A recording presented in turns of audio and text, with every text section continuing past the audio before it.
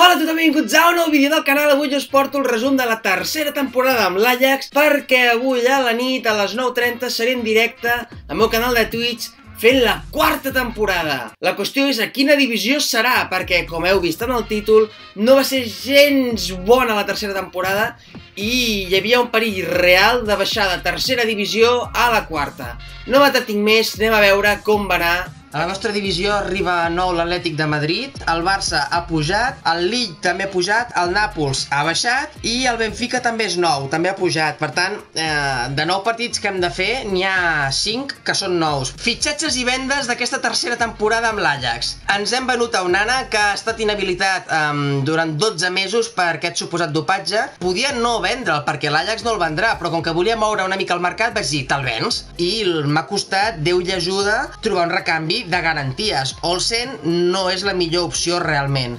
Llavors, a la defensa, m'he venut Christensen a canvi de Debris. Christensen no ho havia fet malament, la meva idea de fet era quedar-me a Blind, Debris i Christensen, però si no, no me'l venien. Per tant, hem incorporat a Christensen en aquesta operació i fitxem un central holandès bastant alt i bastant ràpid dins el que podíem trobar al nostre mercat. I, per últim, M'he venut a Varela, no em va convèncer gens l'anterior temporada, seguirem amb Klassen i Lo Celso i he fitxat a Bell, que era una oportunitat de mercat. Fa molts anys es deia que Bell seria el nou Busquets, al final no. Segueixo un off per anar per feina, aquest és el primer partit contra el PSB, derbi holandès, potser per això em costa tant jugar contra aquesta gent, perquè mira, primera jugada, passe a la línia fons i pam, gol. Per sort vam poder empatar ràpid, cap al minut 20 trobem a Icardi dins de l'àrea i feia el primer gol de molts, Icardi és el futbolista que m'ha rendit més bé aquesta temporada, alguna cosa bona havia tenir no jugar aquest any, però abans de la mitja part sembla que podríem marcar i no ho aconseguim, contracop bastant llarg i ràpid del PSV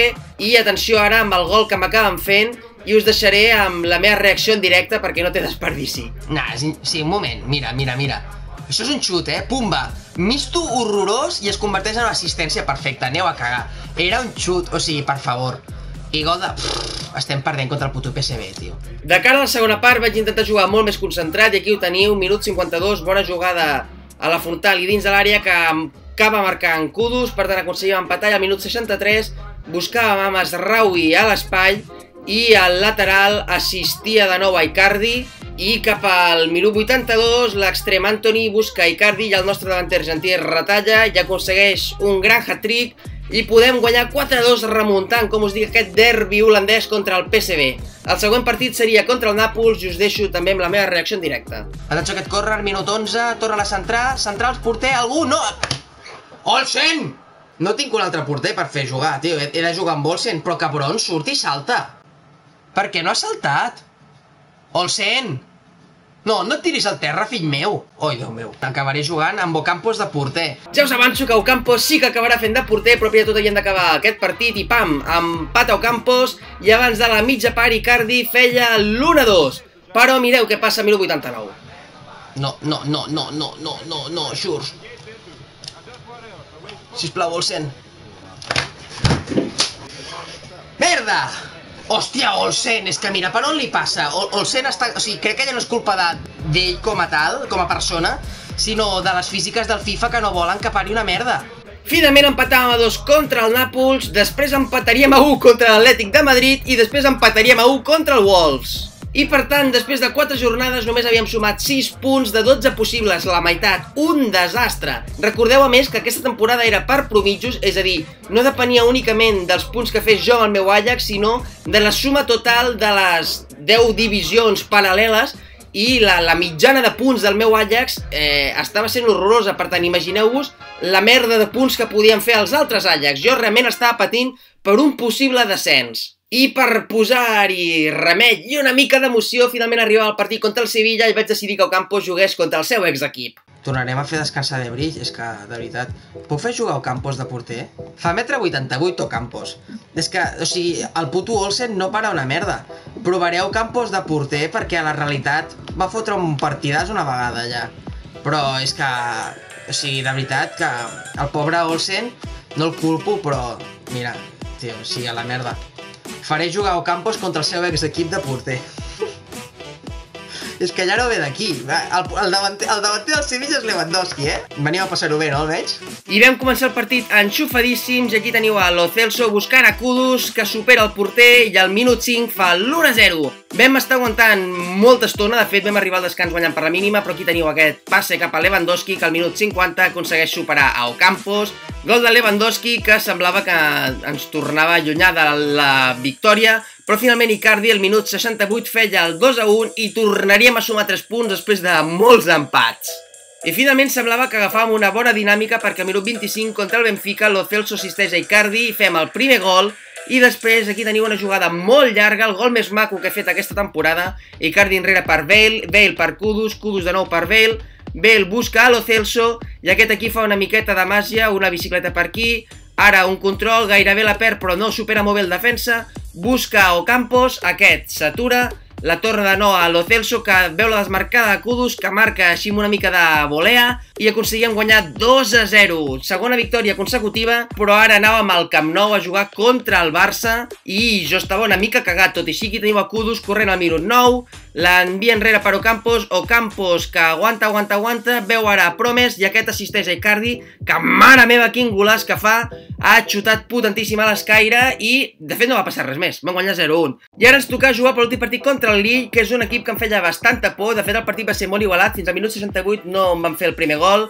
gol de David, que uns minuts després, cap al 80, em feia el segon i m'acabaria fent un hat-trick derrota dolorosíssima per 0 a 3 i a més a més acabava empatant l'últim partit contra el Leicester, realment va ser un horror la meva temporada, és que no us puc dir altra cosa. Anem a veure què opinava al final. Molt bé, aquí teniu la taula de golejadors final, Mauro Icardi ha fet 9 gols a 9 partits, ha perdonat coses, vull dir, crec que hagués pogut fer 12 o 13 gols si, si l'equip hagués acompanyat també tenim a Lo Celso amb 8 assistències en 9 partits, està molt bé.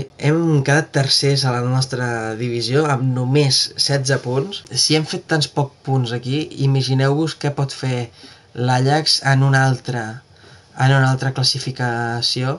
Serà horrorós, serà horrorós, que jo crec que baixarem, perquè si quedem tercers amb només 16 punts, quan juguem nosaltres amb les nostres mans, que normalment ho fan bé, i que ens podrien donar coixí, doncs sense el coixí d'uns 20 punts, és que es noten molt aquests 4 punts de diferència. Més, eh, més... no ho sé.